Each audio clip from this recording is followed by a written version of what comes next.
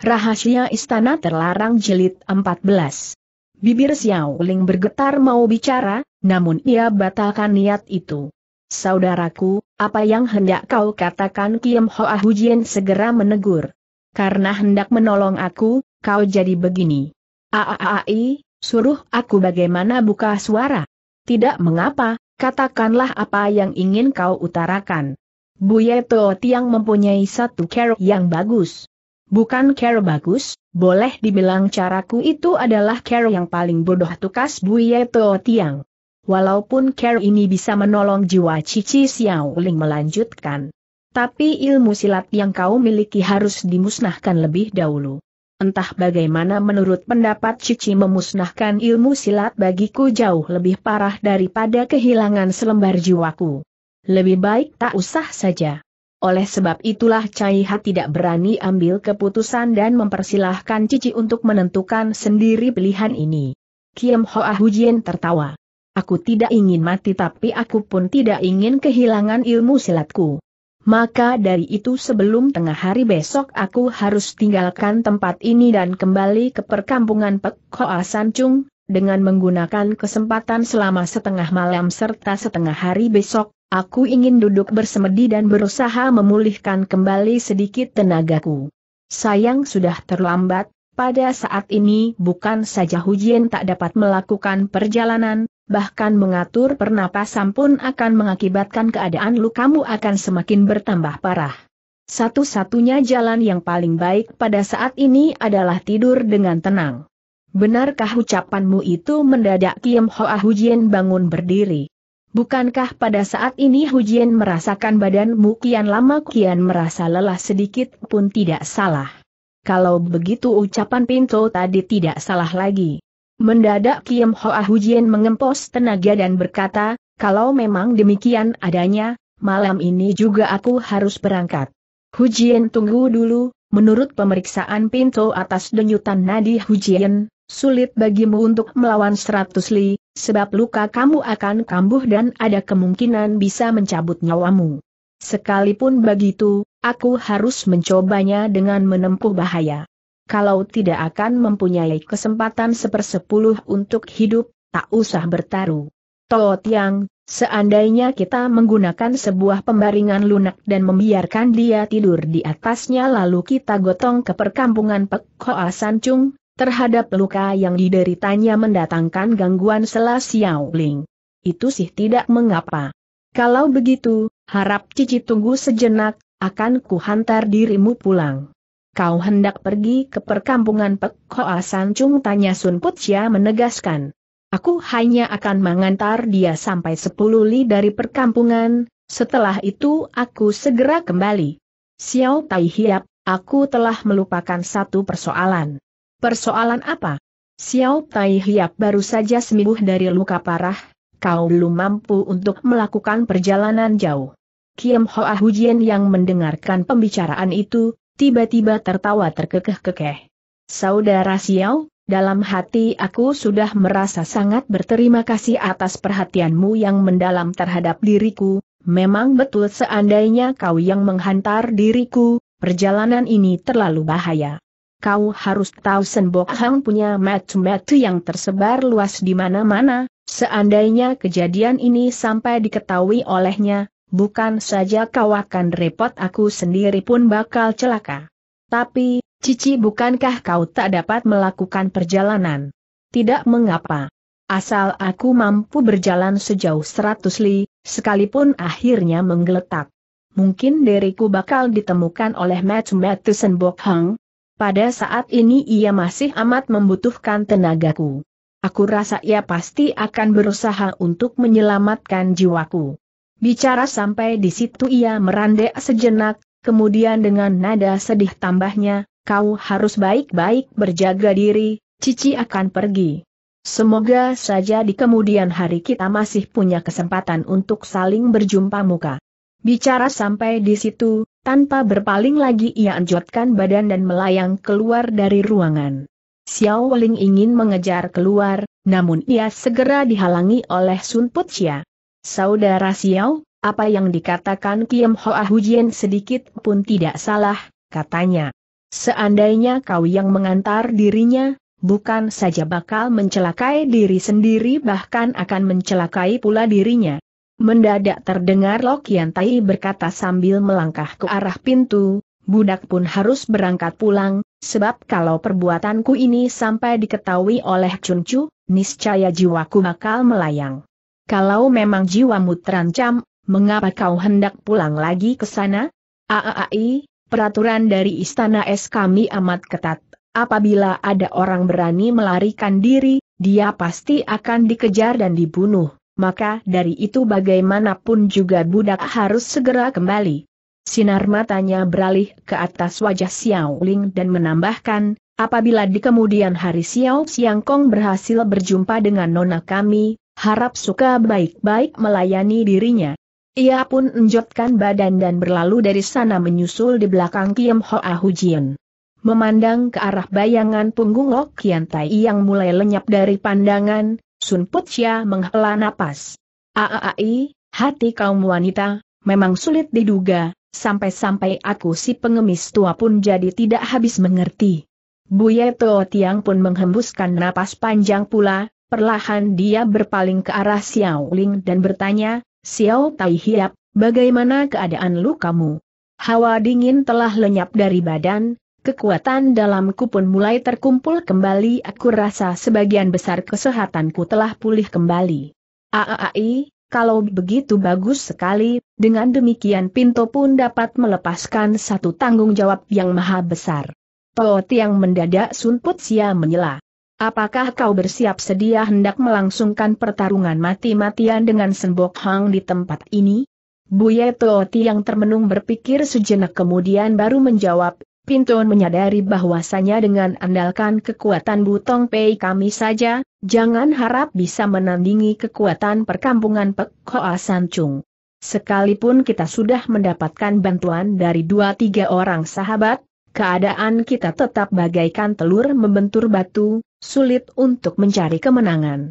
Tetapi situasi yang terbentang di depan mata kita dewasa ini amat mendesak, apabila kita tidak bangkit untuk melawan, satu-satunya jalan untuk cari selamat hanyalah menyerah saja. Bukankah Tooti yang telah mengurus orang untuk menghubungi orang-orang dari sembilan partai besar dan mohon mereka kirim orang untuk membantu diri Tooti yang? Aaai, memang benar meski kekuatan Senbok Hang amat kuat, Seandainya sembilan partai besar suka mengirim jago-jagonya, sekalipun tak bisa menang paling sedikit kita bisa mengimbangi kekuatan mereka. Tapi sayang, berbicara sampai di situ mendadak ia membungkam.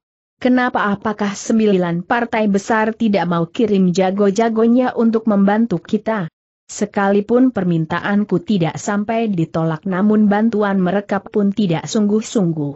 Aaai, Sembilan partai hanya memikirkan keselamatan diri sendiri, bukankah tindakan mereka itu justru merupakan apa yang diharapkan oleh Senbok Hang bila demikian terus keadaannya, sembilan partai satu demi satu bakal dihantam oleh mereka hingga hancur lebut. Ehm, ucapan ini sedikit pun tidak salah lalu apa cara Toh Tiang untuk mengatasi persoalan ini? Walaupun selama seratus tahun belakangan, antara anggota sembilan partai besar tidak pernah terjadi peristiwa bentrokan besar, bentrokan kecil tak bisa dihindari sering terjadi. Di samping itu dari antara partai tidak pernah muncul seorang manusia berbakat yang bisa dihormati partai lain. Hal ini mengakibatkan hubungan antara partai besar kian lama kian bertambah adem dan jauh. Terutama sekali partai Xiao Ling, boleh dibilang selama berhubungan dengan partai-partai lain. Menurut apa yang aku pengemis tua ketahui selasun Putsia, Toh Tiang mempunyai hubungan pribadi yang sangat intim sekali dengan Chiang Bunjien dari partai Xiao Lim dewasa ini, apakah berita Kang ini tidak betul? Sekalipun Pinton mempunyai hubungan pribadi yang intim dengan Xiao Lim Chiang Bunjien tidak berani mengambil tindakan secara menyendiri, ia merandek sejenak, lalu terusnya. Bagaimanapun juga hubungan pribadi, setelah menjumpai keadaan kritis yang amat serius, Pinto rasa hubungan pribadi tak bisa mengatasi hal ini. Saking sedihnya, habis berkata ia menghela napas panjang. Sembilan partai besar sama-sama menutup diri dan tidak mau saling membantu, bukankah tindakan ini sama halnya mencari kehancuran buat diri sendiri? Tak usah kita bicarakan persoalan itu selah Xiao Ling. Persoalan paling penting pada saat ini adalah bagaimana caranya menghadapi musuh tangguh. Ia merandek sejenak, kemudian terusnya, ada satu persoalan, Cai Hei merasa kurang begitu jelas, dapatkah Toh Tiang memberi petunjuk? Persoalan apa? Dari mana Kiam Hoa Hujian bisa sampai di sini? Buye Toh Tiang berpikir sejenak, akhirnya ia ceritakan kisah yang sebenarnya kepada si anak muda itu. Apa sebabnya Senbok Hang bisa membubarkan para jagonya secara mendadak? Tanya Xiao Ling keheranan setelah habis mendengarkan kisah tersebut. Aku si pengemis tua pun merasa tidak mengerti. Menurut dugaan Pinto, satu-satunya hal yang patut dicurigai adalah irama musik itu, Senbok Hang kelihatan amat terperanjat setelah mendengar irama musik itu, begitu gugup dia sampai semangat tempurnya rontok dan buru-buru melarikan diri. Toh Tiang, bukankah kau pandai dalam hal ilmu musik dapatkah kau bedakan irama musik itu berasal dari alat musik apa? Mirip seruling tapi kalau didengar lagi tidak, rupanya irama itu berasal dari gabungan dua jenis alat musik. Sungguh aneh sekali, aku pengemis tua sudah putar otak tetapi belum berhasil juga menemukan seorang jago bulim yang bisa memukul mundur musuhnya dengan irama musik. Peristiwa ini memang rada aneh. Xiao Ling mengangguk. Sewaktu Cai He masih belajar silat tempo dulu, banyak persoalan yang mengenai para jago bulim telah ku dengar, namun belum pernah ku dengar ada jago yang bisa memukul mundur musuhnya dengan irama musik. Pada saat dan tempat seperti ini tidak pantas bagi kita untuk membicarakan persoalan ini, kita harus pulang dan melihat keadaan. Xiao Ling pun tidak banyak bicara lagi, ia ambil keluar sekeping emas murni dan diletakkan di atas meja. Setelah memadamkan api lilin ia berlalu terlebih dulu, dari ruangan itu. Sun Put Chia segera menyusul dari belakang si anak muda itu, seraya mencekal pergelangan tangan kirinya ia tertawa dan berkata, kesehatan badan saudara Xiao belum pulih seperti sedia kala, lebih baik aku pengemis tua bantu dirimu. Xiao Ling pun tidak menolak, sepanjang perjalanan ia melakukan perjalanan cepat. Sebab telah mengetahui ada orang yang bisa pukul mundur Senbok Hang dengan irama musik, dia lantas mengkhawatirkan keselamatan kedua orang tuanya. Setibanya di tepi telaga, terlihatlah Im Yang Chu dengan membawa empat orang Toosu berusia setengah bayi telah menantikan kedatangan mereka di situ. Apakah sudah terjadi perubahan lain tanya Buye Tooti yang setibanya di samping sutenya itu. Semuanya aman, tidak nampak ada musuh menyerang kemari lagi. Apakah Tooti yang telah berjumpa dengan ayah, ibuku Sela Xiao Ling cemas. Pintu mengerti akan pentingnya kedua orang tua itu bagi Senbok Hang, maka sebelum terjadinya peristiwa tadi Pintu telah mohon bantuan Tiong Chiu Xiangku serta Sumakan sekalian melindungi ayah ibumu untuk bersembunyi di suatu tempat yang aman di atas gunung. Mereka sudah kembali? Belum mungkin masih ada di atas gunung. Xiao Ling mendehem perlahan, tanpa banyak bicara lagi tubuhnya meloncat naik ke atas perahu. Buye Toh Tiang, Sun Put Chia serta Xiao Ling menggunakan sebuah sampan yang sama, sedangkan Im Yang Chu dengan keempat Toosu lainnya naik sampan lain. Selama ini Xiao Ling terus mengkhawatirkan keselamatan kedua orang tuanya, ingin sekali ia cepat-cepat menjumpai ayah serta ibunya. Maka itu meskipun sampan bergerak cepat tapi ia merasa kurang, bahkan turun tangan sendiri untuk mendayung sampan tersebut. Setibanya di tepi daratan, tanpa menunggu Sun Put Sia lagi si anak muda itu langsung lari menuju ke kamar orang tuanya. Tampak pintu terbuka lebar, suasana dalam ruangan gelap gulita tidak terlihat sedikit sinar pun. Ada orang di dalam Xiao Ling segera menegur. Xiao Xiangkong yang ada di luar Siara Kim Lan berkumandang keluar dari dalam ruangan. Tidak salah, apakah orang tuaku belum kembali? Cahaya lampu berkilat dalam ruangan disusul munculnya Kim Lan dengan pakaian ringan serta menyoren pedang dari balik kegelapan. Looya serta Hujian telah bersembunyi di atas gunung di bawah perlindungan Seng Ya serta Tuya sekalian, sahutnya. Tahukah kau asat ini mereka berada di mana? Kim Lan menggeleng. Xiao Ling segera berpaling ke belakang, saat itu Sun Put Chia serta Im Yang Chu berdiri berjajar di luar pintu. Segera tanyanya kembali, apakah Tooti yang tahu? Harap Xiao Tai Hiap legakan hatimu kata Im Yang Chu sambil tertawa. Pintu tanggung kedua orang tuamu berada dalam keadaan sehat walafiat tanpa kekurangan sedikit apa pun juga. Cai He mengerti betapa teliti dan cermatnya Tooti yang bekerja, namun sebelum bertemu sendiri dengan kedua orang tuaku. Cai He tetap merasa tidak tenteram. Pintu sudah kirim orang untuk melepaskan tanda rahasia dan memanggil mereka kembali. Apabila Tooti yang tahu letak tempat persembunyian itu, lebih baik bawalah Cai Hai ke situ. Untuk mewujudkan kebaktian Xiao Tai Hiap terhadap orang tuamu, sepantasnya Pinto tidak menampik permintaanmu itu, tapi menurut perhitungan Pinto, pada saat ini Tiong Chiu Xiangku semestinya sudah menerima tanda kemudian membawa kedua orang tuamu turun gunung. Seandainya kita harus naik sendiri ke situ dan bila sampai salah jalan, bukankah keadaan malahan sebaliknya? Mendengar perkataan itu akhirnya Xiao Ling menghela napas panjang. Baiklah kalau begitu kita tunggu saja di sini. Tapi beberapa waktu harus mereka butuhkan untuk sampai di sini? Paling banter tidak sampai melewati satu jam. Perlahan-lahan Xiao Ling berjalan masuk ke dalam kamar kedua orang tuanya, menyulut lilin dan duduk termangu-mangu di situ. Im Yang Chu mengerti keadaan orang, setelah dua kali orang tuanya ditawan si anak muda ini jadi ketakutan setengah mati. Maka ia pun tidak banyak bicara dan duduk membungkam di situ. Sebatang lilin sudah hampir habis, namun Tiong Chiu Xiangku serta Xiao Tai Jian suami istri yang ditunggu-tunggu belum kunjung datang juga. Kim Lan muncul untuk menggantikan lilin yang hampir padam dengan sebatang lilin baru, kemudian perlahan-lahan mengundurkan diri ke samping pintu. Xiao Weling berusaha menahan sabar, namun akhirnya ia tak kuat menunggu lebih jauh, tiba-tiba tanyanya, Tooti yang sudah berapa lama kita menunggu? Belum sampai satu jam.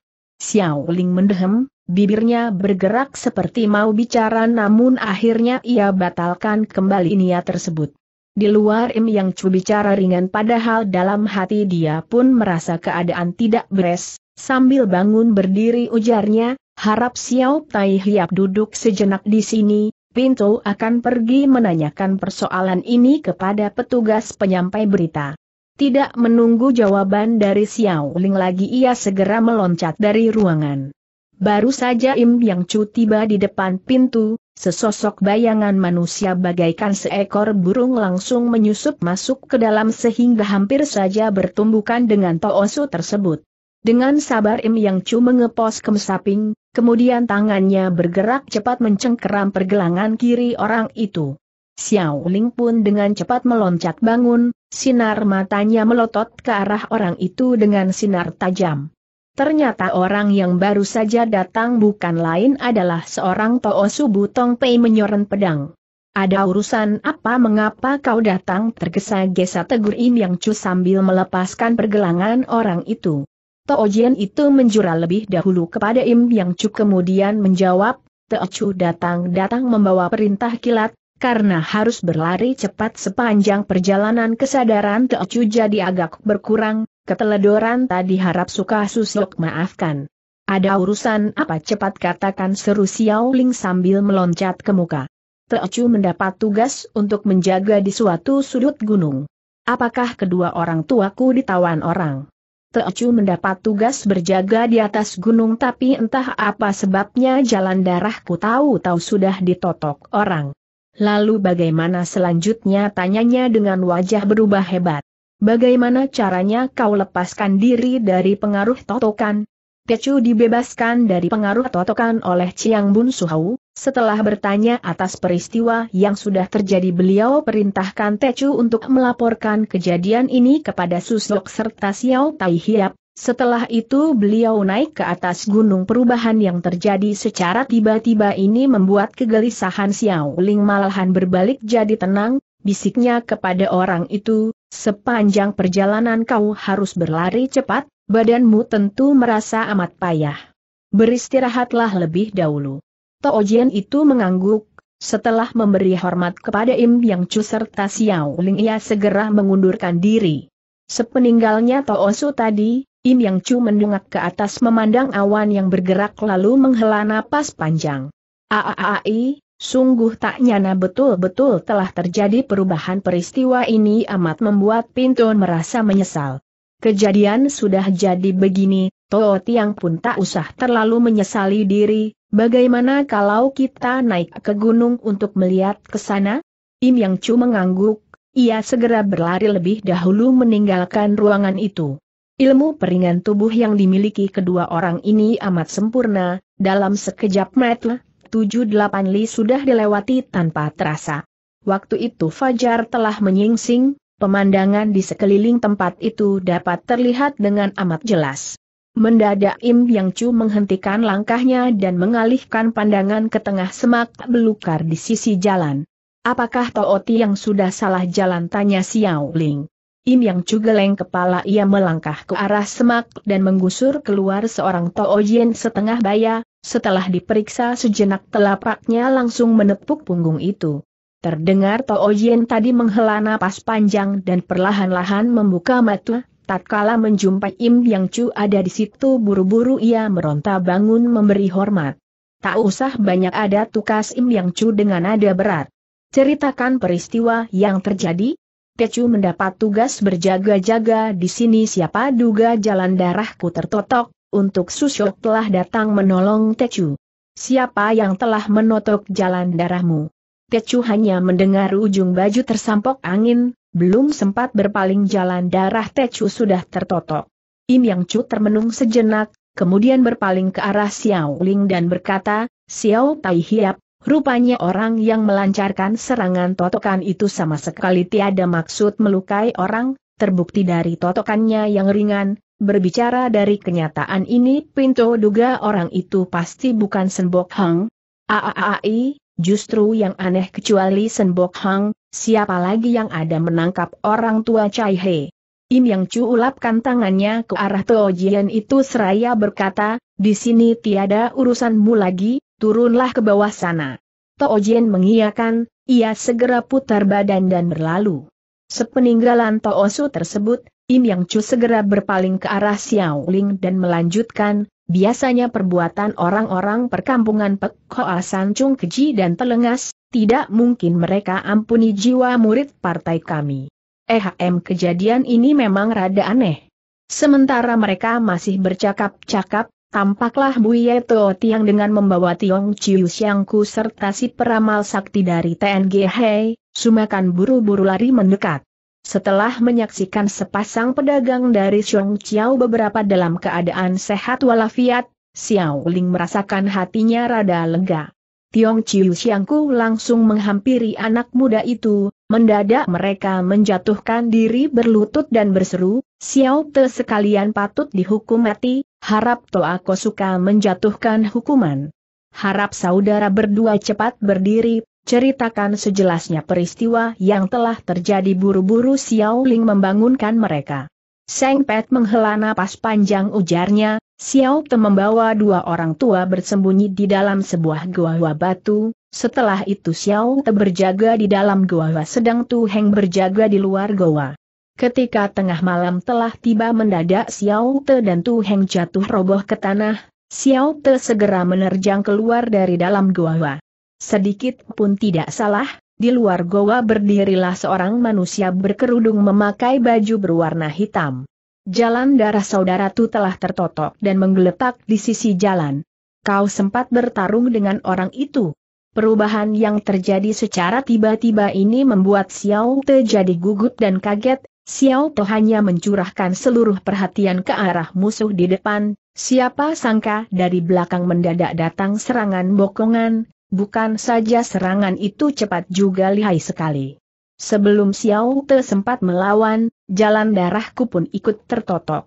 Xiao Ling segera mengalihkan sinar matanya ke arah Tu Kiu dan bertanya, apakah saudara Tu sempat melihat jelas wajah orang itu? Aaai, kalau dibicarakan sungguh menyesal sekali, jalan darah Xiao terkena tertotok oleh senjata rahasia lawan. Kepandaian tersebut jelas merupakan ilmu totok dengan biji kedelai yang sangat lihai, seandainya tenaga kuekang yang dimiliki tidak sempurna, tidak nanti bisa menggunakan apalagi ia turun tangan terhadap Tu Heng yang lihai. Xiao Ling alihkan sinar matanya ke arah Sumakan dan bertanya, apakah Sumaheng berhasil menyaksikan bentuk musuh yang datang menyerang? Aaai, kalau dibicarakan sungguh memalukan sekali. Xiao Te berjaga di belakang Sang Heng. Tatkala Sang Heng keluar dari gua Xiao Te sudah waspada dan mempersiapkan diri, ia menghela napas panjang lalu melanjutkan. Dalam dugaan Xiao Te, sekalipun Sang Heng dan Tu Heng telah bertemu dengan musuh tangguh, paling sedikit mereka bakal melangsungkan pertarungan sampai puluhan gebrakan, siapa duga pihak lawan ternyata aneh dan tangguh. Xiao Te hanya menyaksikan sesosok bayangan manusia melayang masuk, Semula aku masih mengira Sang Heng yang masuk baru saja menyangka tahu-tahu pihak lawan dengan menggunakan petunjuk suara Xiao tetadilah mengayunkan tangannya menyambit beberapa batang senjata rahasia, walaupun Xiao Te berhasil menghindarkan diri dari beberapa batang senjata rahasia, namun akhirnya aku roboh juga. Kalau begitu Sumaheng pun roboh karena terhantam senjata rahasia yang dilepaskan dengan ilmu talib tahiyat. Mungkin disebabkan suasana dalam goa terlalu gelap, kurang tepat ia mengarah jalan darahku. Dengan demikian meski Xiao terkena terhajar tapi jalan darahku tak sampai terkena, aku masih punya kemampuan buat bertempur. Jadi Sumaheng sempat bergebrak melawan orang itu. Baru bertarung dua jurus, halan darah Xiao Te telah kena ditotok orang. Sumaheng terluka lebih dahulu oleh senjata rahasia lawan, kemudian baru bertempur, kerugian ini kau derita lebih dahulu tentu saja keadaanmu yang tidak menguntungkan. Sumakan tertawa getir. Meski demikian, tetapi ilmu silat yang dimiliki orang itu betul-betul sangat lihai, ini alasan yang kuat bagi kemenangannya. Xiao Te yakin di kolong langit belum tentu ada beberapa orang yang sanggup menotok jalan darahku dalam dua gebrakan belaka. Apakah kedua orang tuaku ditawan orang tanya Xiao Ling setelah termenung sejenak. Setelah jalan darah Xiao tertotok, goa itu tidak ada yang menjaganya lagi. Sudah tentu ayah serta ibunya. Ketika Pinto tiba di dalam goa itu, bukan saja kedua orang tua itu sudah lenyap, bahkan Giok Lan pun ikut hilang sambung Buye Teo Tiang. Apakah Teo Tiang berhasil mendapatkan senjata rahasia yang digunakan orang itu, Perlahan-lahan dari dalam sakunya Buye Tooti yang ambil keluar dua butir senjata rahasia sebesar kacang kedelai, sambil diangsurkan ke muka ujarnya, apakah Xiao Tai Hiap kenal dengan senjata rahasia semacam ini? Tidak kenal sahut si anak muda itu setelah dipandang sejenak. Benda ini disebut Pao Ticu, sejenis senjata rahasia yang khusus digunakan untuk menotok jalan darah. Tahukah Tooti yang jagoan manakah yang dewasa ini yang sering menggunakan benda ini sebagai senjata rahasia? Menurut ingatan Pinto dalam dunia persilatan memang ada orang yang biasanya menggunakan benda tersebut sebagai senjata rahasia, namun orang itu sudah terkurung di dalam istana terlarang. Istana terlarang belum terbuka, tentu saja orang itu tidak mungkin bisa muncul kembali di dalam dunia persilatan. Justru disebabkan persoalan inilah, Pinto merasa bimbang dan ragu. Apakah orang itu punya murid? Menurut pengetahuan Pinto, orang itu belum pernah menerima murid. Ia merandek sejenak kemudian sambungnya lebih lanjut, masih ada satu persoalan lagi yang cukup membuat pusing kepala, rupanya tujuan dari orang itu hanya ayah serta ibunya belaka, terhadap murid-murid partai kami yang di sekeliling tempat ini sama sekali tidak turun tangan keji, meski ada tujuh orang yang kena ditotok jalan darahnya namun mereka sama sekali tidak terluka jelas perbuatan ini bukan dilakukan oleh orang-orang dari perkampungan Pek Hoa Sancung. Masih ada satu persoalan lagi yang cukup panas Sumakan menambah dari samping. dari mana orang itu bisa tahu kalau kita bersembunyi di dalam goa batu itu? Buya Tooti yang segera berpaling ke arah Im Yang Chu dan bertanya, kecuali kau serta aku yang tahu letak goa batu tersebut, siapa lagi di antara anggota Butong P kita yang mengetahui hal ini? Mungkin Sam T juga tahu akan letak tempat ini. Selain Sam T. Selain Sam T cuma dua orang bocah yang mendampingi Toa Su Heng saja yang tahu urusan ini. Xiao Heng tidak percaya kalau mereka bisa membocorkan rahasia ini pada orang lain.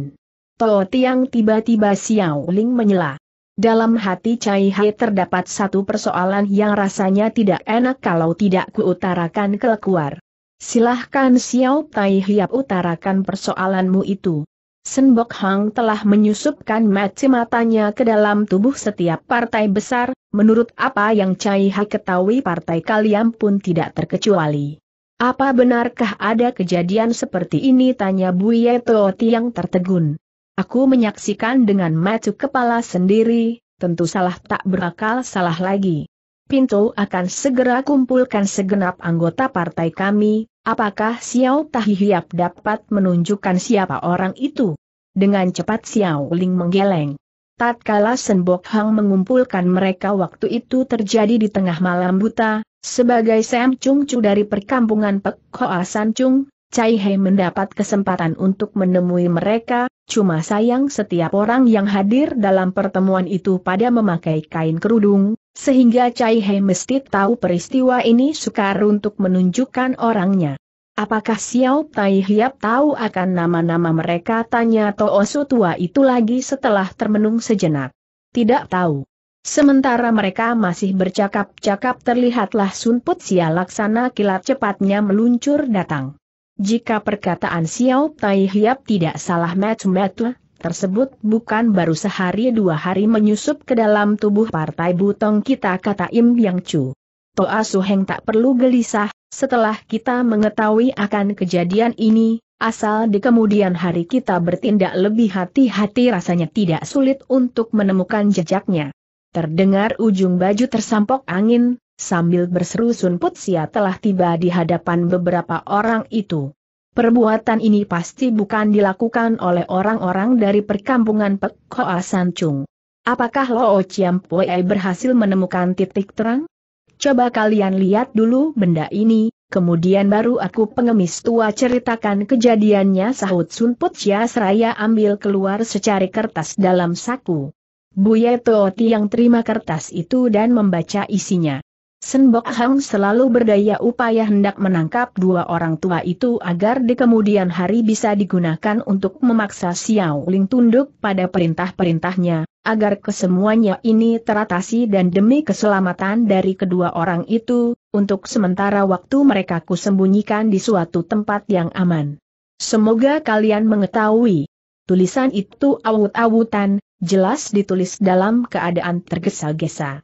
Buye Tooti yang angsurkan surat tadi ke tangan Xiao Ling, kemudian tanyanya, Lo Chiam Pue dapatkan surat ini dari mana? Tatkala Cui sekalian memeriksa goa batu itu, aku pengemis tua naik ke atas puncak yang tertinggal di sekitar tempat itu untuk memeriksa keadaan empat penjuru, sedikit pun tidak salah kulihat sesosok bayangan manusia sedang lari ke arah selatan. Setelah menyaksikan titik terang ini dengan kerahkan segenap tenaga aku pengemis tua segera mengejar. Lo Chiam Pue berhasil menyusul orang itu tanya Xiao Ling.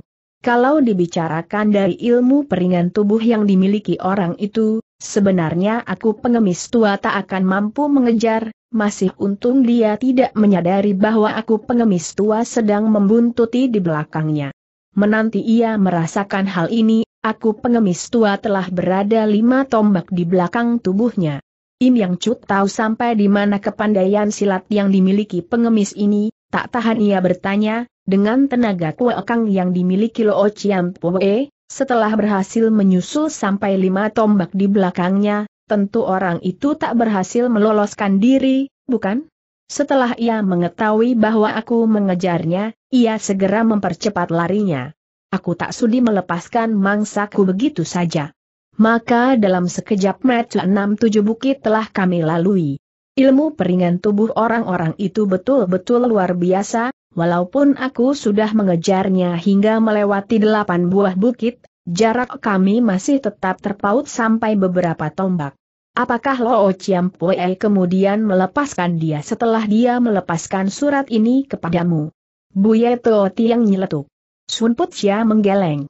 Melihat keadaan tak menguntungkan, aku main gertak, aku bilang, walaupun kau lari sampai ke ujung langit dasar samudra, naik turun ke bumi aku pengemis tua akan terus mengejar dirimu, walaupun harus mengejar selama 8-10 tahun pun aku tidak akan ambil peduli mungkin orang itu belum lama terjunkan diri ke dalam dunia persilatan, setelah mendengar ancamanku itu mendadak ia berhenti.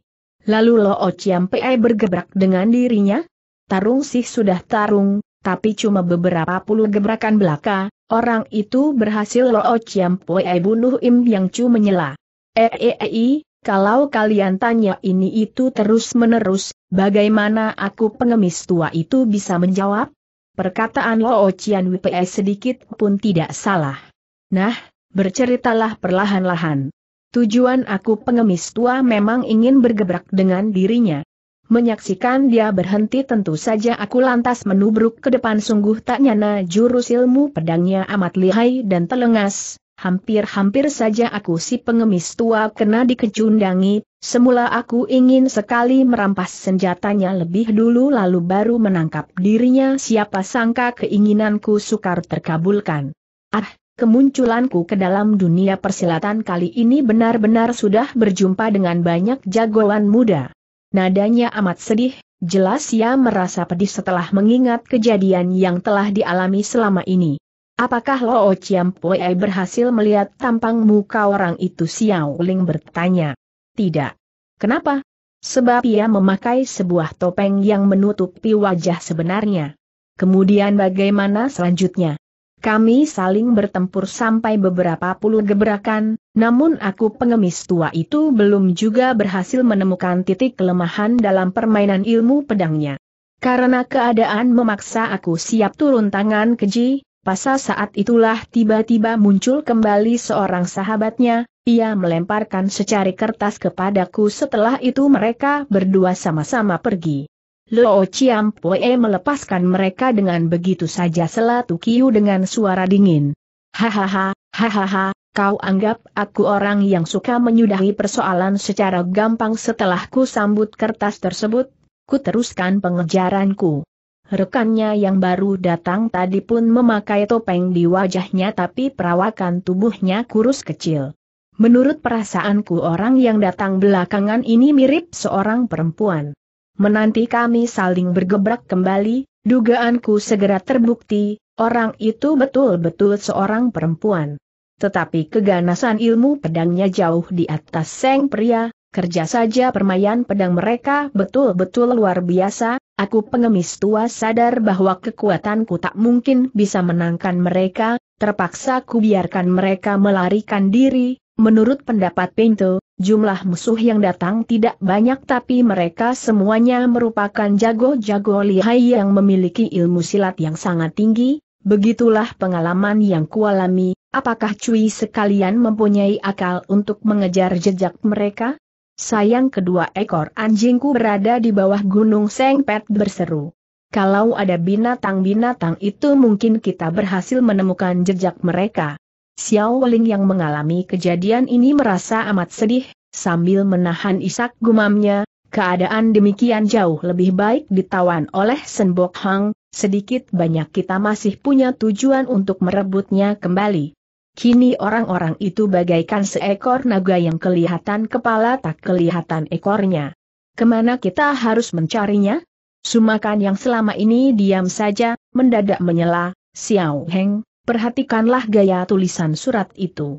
Coba lihat apakah kau kenal? Sama sekali tak ku kenal. Kalau menurut kebiasaan orang bulim di bawah setiap surat yang ditinggalkan pasti dicantumkan nama atau tanda pengenal, tapi orang ini tak meninggalkan suatu apa pun jua. Dilihat dari tulisannya yang ruwet dan tergesa-gesa ia sudah lupa mencantumkan namanya Im Yang Chu memberikan pendapat. Tiada guna kita membicarakan persoalan yang tak berguna ini tukas Tukiu dengan adanya yang khas. Dingin. Kita kongko sambil berpeluk tangan, lebih baik ku bawa kemari kedua anjing harimau tersebut. Betul, aku pengemis tua sudah tahu ke arah mana mereka pergi, asal kedua ekor anjing yang kalian pelihara bisa berguna, rasanya tidak sulit untuk menemukan jejak mereka. Bagus kalau begitu kalian menanti di sini, biarlah aku orang si Seng berdua pergi mengambil anjing. Sepeninggalnya Seng Pet dan Tukie, Buye Tooti yang perlahan-lahan mendekati Xiao Ling lalu ujarnya, Xiao Tai Hiap, orang budiman selalu dilindungi Tian. Kedua orang tuamu mempunyai raut wajah rejeki dan panjang umur, tidak mungkin mereka jumpai mara bahaya yang mengancam jiwa. Pincau harap Kasuka bangkitkan lagi semangatmu, kami segenap anggota Butong P pasti akan membantu usaha pencarian ini dengan sekuat tenaga. Peristiwa ini tak bisa salahkan diri Tooti yang sahut Xiao Ling terharu. Seandainya Pinto tak punya pikiran begitu dan mengantar kedua orang tua itu bersembunyi di atas gunung, mungkin tidak akan terjadi peristiwa semacam ini. Mereka datang dengan membawa rencana, Meskipun tidak naik ke gunung keadaan sama saja, di bawah sorotan sinar matahari, tampak dua butir air mata berlinang di pipinya, ia menyambung, Cai Hei merasa sedih karena kedua orang tuaku bukanlah orang Kangou tapi mereka bisa terseret ke dalam persoalan bulim yang penuh dengan balas-membalas, bunuh-membunuh ini. Meskipun saudara Xiao belum lama terjun ke dalam dunia persilatan, tapi takdir menentukan namamu harus tersohor ke dalam dunia persilatan dalam waktu yang singkat. Kau harus tahu, setiap manusia mempunyai kesulitan masing-masing maka aku pengemis tua harap Kasuka bangkitkan kembali semangatmu itu, sekalipun kini aku si pengemis tua sudah mengundurkan diri dari keramaian dunia Kangou, tetapi aku rela mempertaruhkan selembar jiwa tuaku ini untuk membantu dirimu menciptakan satu perbuatan yang besar, perbuatan yang mulia bagi seluruh umat bulim. Sebab bila aku bisa berbuat demikian mati pun aku bisa mati meram.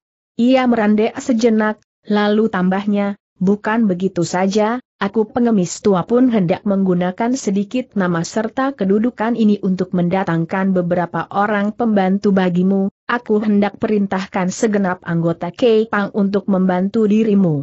Ucapan ini menggetarkan hati Xiao Ling buru-buru ia menjura. Kemampuan serta kepandaian apakah yang Bo Ampoe miliki mana berani Bo Ampoe terima semua kebaikan dari Lo Chiampoe. Haa, haa, kalau dibicarakan seolah-olah bantuanku ini memang kutujukan kepadamu, padahal aku berbuat demikian adalah demi kebaikan serta kebahagiaan seluruh umat bulim. Bicara terus terang, aku si pengemis tua bukanlah membantu dirimu, sebaliknya malah menyeret kau terjun ke dalam air. Ucapan Lo Chian Wipee terlalu serius. Persoalan paling penting yang kita hadapi pada saat ini adalah menemukan kembali kedua orang tuamu, kemudian berusaha mencari suatu tempat yang aman. Tempat yang tersembunyi dan rahasia letaknya bagi kedua orang tuamu, setelah urusan ini beres saudara Xiao baru bisa mencurahkan segenap perhatian serta tenaganya demi kebahagiaan umat bulim. Ucapan Lo Chiampoe sedikit pun tidak salah Buye Tooti yang membenarkan. Sinar mata Sun Putsia dialihkan ke atas wajah Xiao Ling, lalu ujarnya lagi, ditinjau dari pertarungan yang telah berlangsung antara aku si pengemis tua dengan mereka, jelas membuktikan bahwasanya kedua orang itu bukanlah manusia-manusia dari perkampungan Pek Hoa Sancung.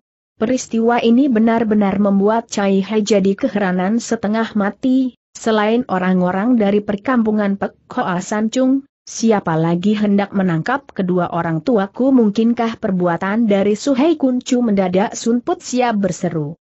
Tidak salah, kalau bukan perbuatan Senbok Hang, peristiwa ini pasti hasil karya dari Suhei Kuncu. Kalau perbuatan ini benar-benar hasil karya dari Suhei Kuncu, wah, kita bakal mengalami kesulitan untuk menemukan mereka kembali. Pintu rasa tujuan orang-orang itu menculik kedua orang tua Xiao Hiap sama sekali tidak bermaksud jahat. Seandainya tidak bermaksud jahat, Apa sebabnya mereka gunakan cara yang demikian rendah untuk menculik mereka? Pinto tidak berhasil menebak latar belakang dari perbuatan mereka itu, tapi Pinto rasa dugaan tidak akan terpaut jauh. Dengan dasar alasan apa Tooti yang berkata begitu? Setiap anggota partai Butong kami yang bertugas di sekeliling tempat ini pada roboh tertotok jalan darahnya, tetapi tak seorang pun yang menderita luka. Seandainya pemimpin mereka tak memberi pesan wanti-wanti, tidak nanti peristiwa bisa berlangsung seperti ini, persoalan seperti ini lebih baik tak usah diributkan lebih dahulu. Mari kita coba dulu apakah kedua orang anjing dari Tiong Chiu Xiangku bisa menemukan jejak mereka atau tidak tukas Sun Put Xia. Kurang lebih sepertanak nasi kemudian dengan badan basah kuyup oleh keringat Tiong Chiu Xiangku muncul kembali di situ diiringi kedua ekor anjingnya yang besar. Sun Put Xia melirik sekejap kedua ekor anjing itu, tatkala dilihat binatang itu kosen dan gagah segera ia berkata, Aku lihat kedua ekor anjing ini kosen dan gagah, tapi dapatkah mereka dimintai bantuannya untuk menemukan jejak musuh? Dengan mengandalkan kedua ekor anjing ini sudah banyak persoalan yang memusingkan kepala berhasil kami atasi, cuma saja dari kemarin malam hingga ini hari sudah banyak orang yang berlalu lalang di sini, mungkin hal ini bisa mempengaruhi penciuman mereka berhasilkah menemukan jejak mereka sukar dibicarakan, lebih baik kita lihat nasib saja. Persoalan tak boleh diundur lagi, bagaimana kalau kita suruh anjing-anjing itu mulai mencari? Baiklah Seng Pet mengangguk. Tapi terpaksa kita harus mohon bantuan Sun Lo Poe untuk membawa jalan. Kalau aku pengemis tua tahu ke manakah mereka lari, buat apa aku minta bantuan dari kedua ekor anjingmu harap Lo Poe jangan menaruh salah paham selatu kiu ketus. Kami hanya mohon kepada Lo Chiam Poel agar suka membawa menuju ke tempat di mana kalian saling bergebrak tadi, kami hendak suruh anjing-anjing ini mencium dahulu bekas hawa badan orang itu, dengan dasar inilah mereka baru bisa melakukan pencarian. Oh, oh, oh kiranya begitu. Demikianlah di bawah pimpinan Sun Putsia, para jago segera berlari melewati beberapa buah bukit, akhirnya sampailah mereka di suatu tempat lapang. Sambil berhenti pengemis itu berkata, di sinilah kami saling bergerak. Harap Lo Ociam Poe periksa lebih dulu dengan seksama ujar Seng Pet. Sebab kalau kita salah mengenali tempat, kesalahan ini bisa mengakibatkan kita tersesat sampai ribuan li jauhnya. Aku si pengemis tua masih ingat benar dengan tempat ini, coba lihat di situ ada sebidang tanah berumput tak berakal salah lagi. Mendengar perkataan itu Seng Pat lantas berjongkok kepada kedua ekor anjingnya ia perlihatkan beberapa gerakan, melihat gerak tangan majikannya anjing-anjing segera lari ke arah tanah berumput itu dan mencium di sekeliling sana. Kemudian dia tiba-tiba menubruk ke arah Sun Putsia. Lo Chiam Poe, jangan takut mereka hanya menciumi bau badanmu saja buru-buru Tukiu menjelaskan. Kalau cuma dua ekor anjing sih, aku si pengemis tua tidak akan ambil peduli. Tampak kedua ekor anjing itu mencium seluruh tubuh Sun Put siap beberapa saat lamanya kemudian angkat kepala dan menggonggong.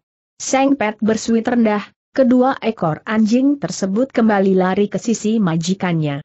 Kembali terlihat Seng Pet menggerak-gerakan tangannya memberi kode, tiba-tiba kedua ekor anjing itu putar badan dan lari ke depan. Seng Pat serta Tukiu dengan cepat mengejar-ngejar di belakang kedua ekor anjingnya.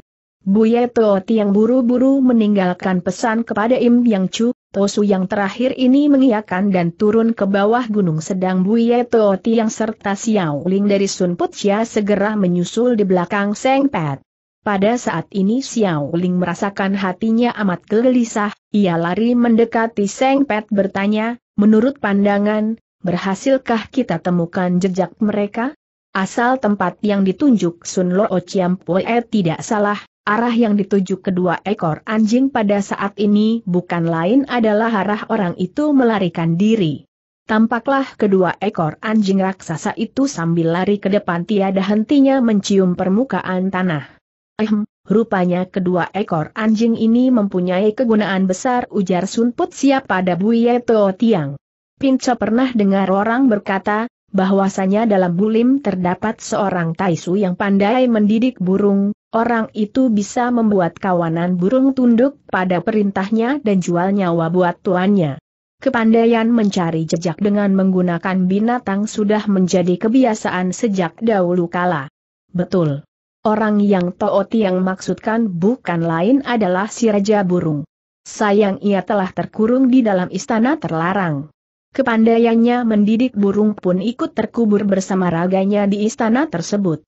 Apakah Lo Chiampoe pernah bertemu dengan si Raja Burung itu? Aku pernah minum arak bersama dia ia menghela napas panjang. Kepandaiannya mendidik burung merupakan kepandaian luar biasa. Aku pernah menyaksikan ia memerintahkan tiga ekor burung Raja Wali untuk mengirim sekeranjang buah cu dari jarak seribu li. Kehebatan orang ini sungguh patut dikagumi. Sementara pembicaraan masih berlangsung tiba-tiba terdengar gonggongan anjing berkumandang datang. Kiranya kedua ekor anjing raksasa itu telah berhenti di tepi sebuah hutan lebat, memandang ke dalam hutan tersebut kedua ekor anjing itu menyalak tiada hentinya. Xiao Ling segera cabut keluar pedangnya. Harap Cui sekalian tunggu di luar hutan, akan Cai Hai periksa dahulu keadaan sana. Toako, tunggu sebentar dengan cepat Seng Pet menghalangi niat Xiao Ling. Kenapa? Seng Pet ulapkan tangannya, kedua ekor anjing itu segera berhenti menggonggong, kemudian ia baru berkata, mungkin mereka telah siapkan jebakan di dalam hutan tersebut dan sengaja memancing kita agar masuk perangkap. Sekalipun hutan rimba ini merupakan gunung golok atau hutan tombak, akan kuperiksa juga keadaan di sana. Tentu saja hutan itu harus kita periksa, namun bagaimanapun juga kita harus bikin persiapan terlebih dahulu. Persiapan bagaimana maksudmu? LOJ kata Seng Pat sambil berpaling ke arah Tukiu. Kau tuntunlah seekor anjing dan berjaga di luar hutan, biar aku serta Toako masuk dalam hutan melakukan pemeriksaan. Tukiu menurut dan menuntun seekor anjing, katanya.